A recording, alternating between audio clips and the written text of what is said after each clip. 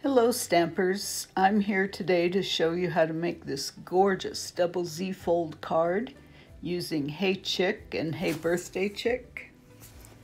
This card was inspired by Elaine's Creations. I have all of my images cut out and ready to color. These chick images are being colored with Stampin' Up's watercolor pencils. I'm going to just scribble on the color and then I'm going to go over it with a blending, a blender pen. The blender pen takes the color and makes it look more watercolored. It um, makes it look more vibrant. The colors I'm using here are real red for the comb, pumpkin pie for the beaks and feet. I use Pacific Point for the hair on the, the wild chick there. I'm going to use Daffodil Delight on the eggs. And I'm also going to use Rich Razzleberry and early espresso. This coloring is very easy. There's no artistic talent needed. All you need to do is put on some color and use the blender pen.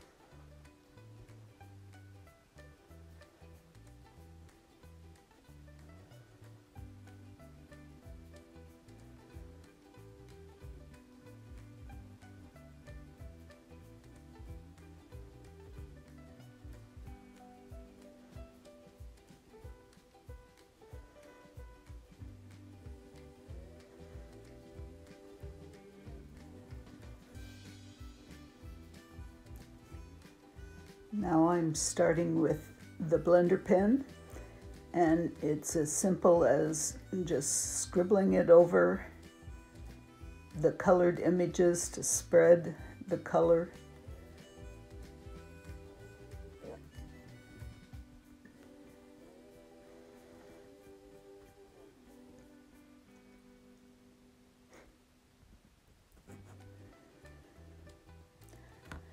Our Stampin' Blends would be another way to color these chickens, but this way is much quicker and simpler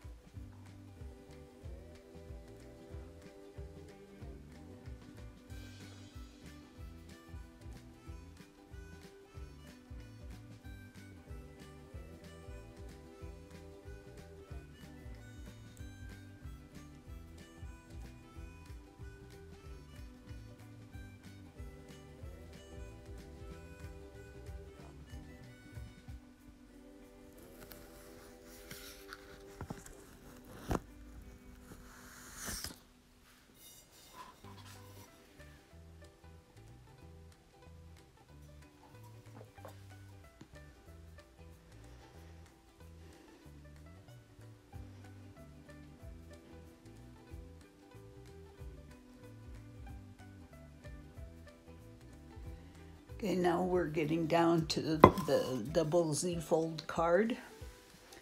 I'm bringing in some crumb cake cardstock. It's just a half a sheet. We're gonna score it at two and a half, or wait, two and three quarters and five and a half. And this little strip gets scored the same way. I make a mistake here and score it at two and a half and two and three quarters, but it isn't going to cause us any trouble.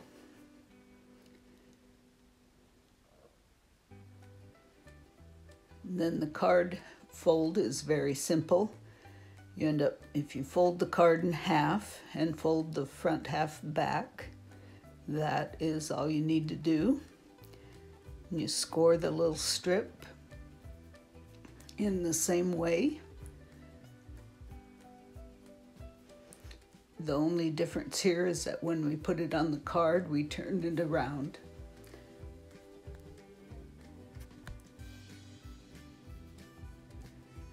When that is glued together, the glue will just go on the outside ends. And before we put it together, I'm putting some chicken wire die cuts on it. The chicken wire die cuts fit perfectly in the sections that we have folded for the card.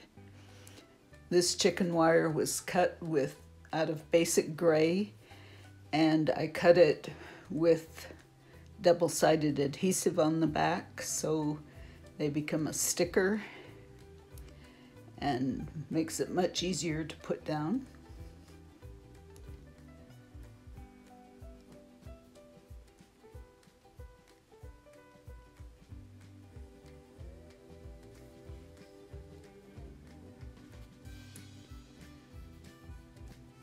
Okay, then the, some more of our card pieces.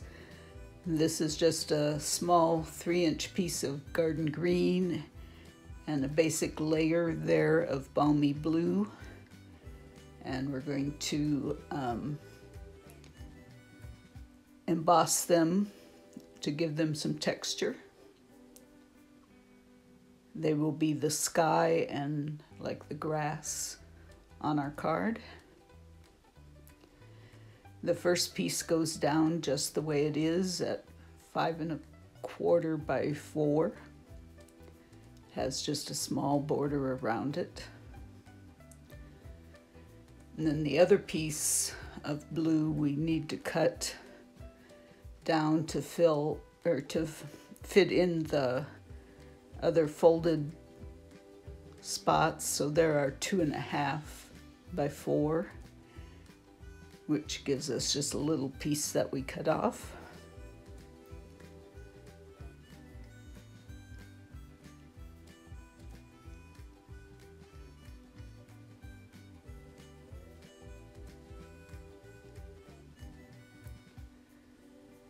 We do the same thing here with the green.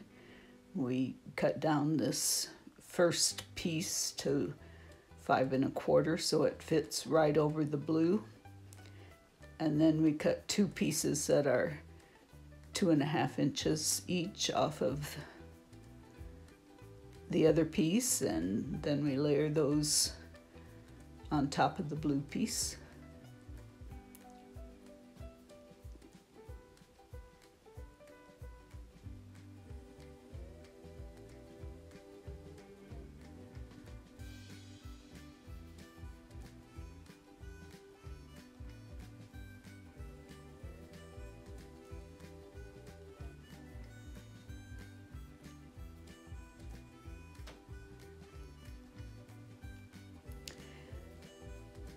Okay, now we're ready to put on that strip that does all the work and we put glue on this end and glue it down right at the bottom of our card base.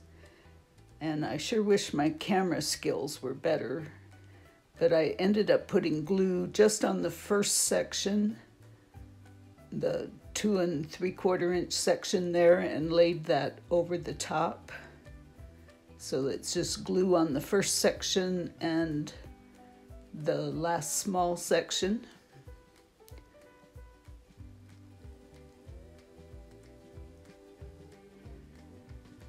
And now comes the fun part. I'm bringing in all my die cuts and we're going to decorate the card. I'm starting with the chicken coop I had cut it out of red and another one out of early espresso.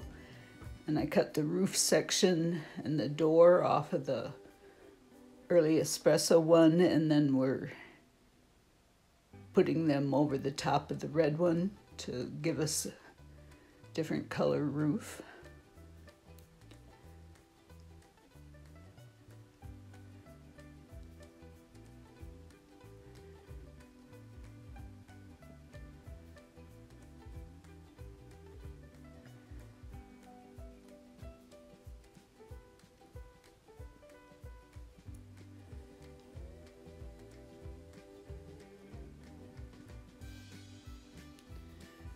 And most of the rest of this uh,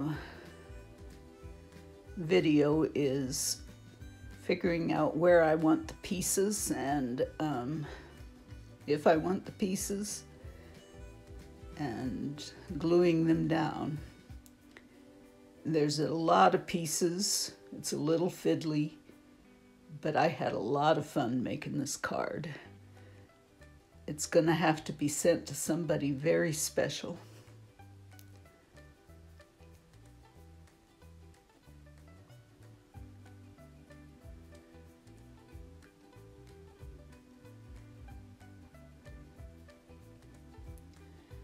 I do a very poor job of staying within the scope of my camera. I apologize for that, but hopefully you can see most of the parts that matter.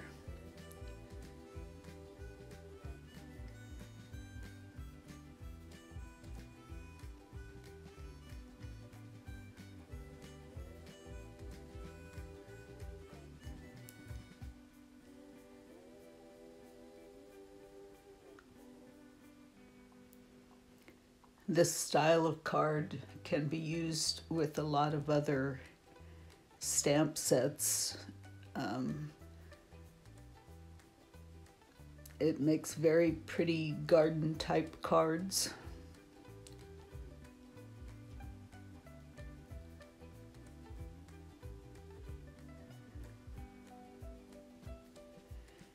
We probably should have put one of our darling donkeys in here somewhere. He Surely there's donkeys on this farm with all the chicks.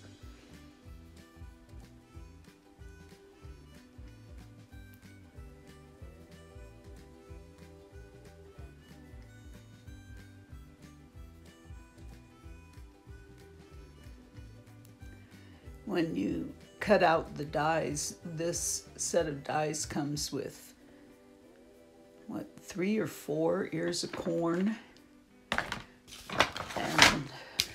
let me see, it's four ears of corn and four of the the husk pieces, so that makes them quicker to cut out.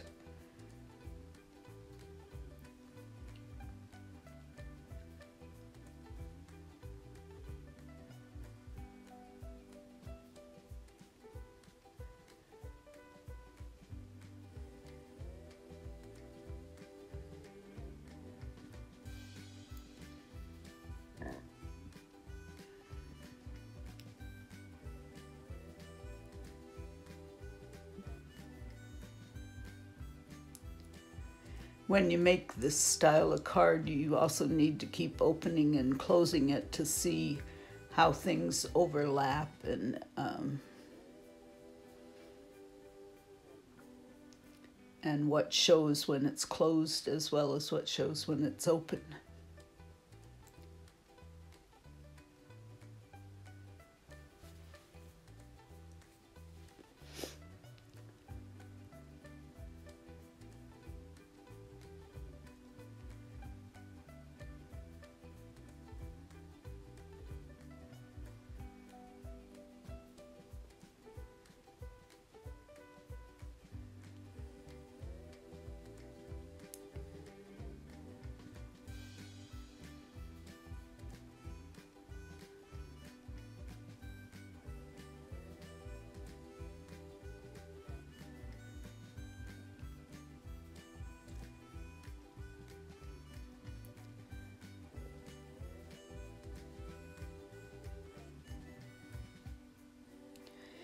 Here's the part that I wish I would have filmed without,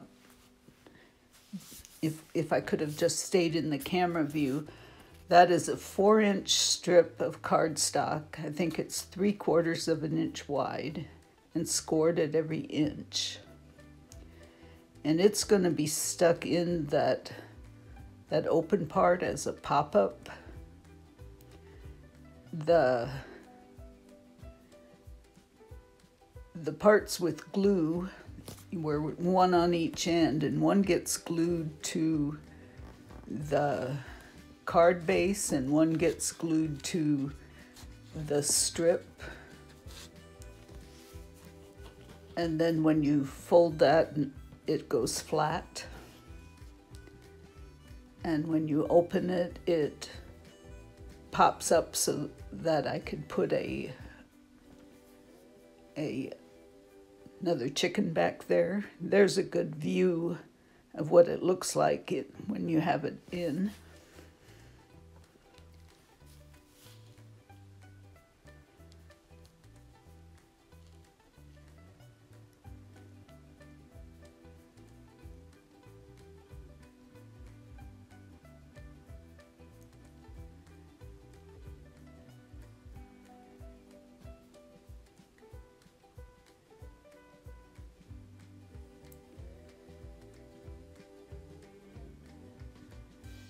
The hard part about this card is knowing when you're done putting stuff on there. There's so many die cuts in these sets that it's almost endless on what you can all do.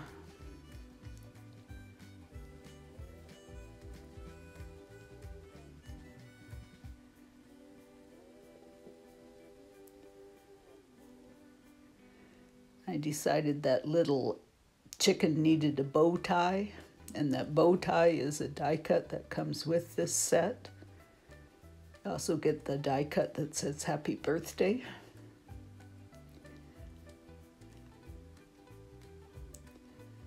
And I don't show putting it on, but I ended up putting a sign on the front of the card.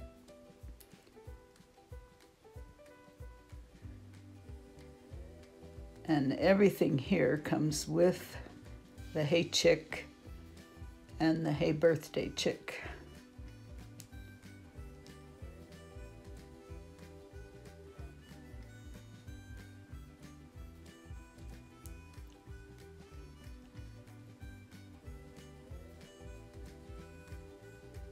There you can see the sign on the front of the card. I hope you give this a try.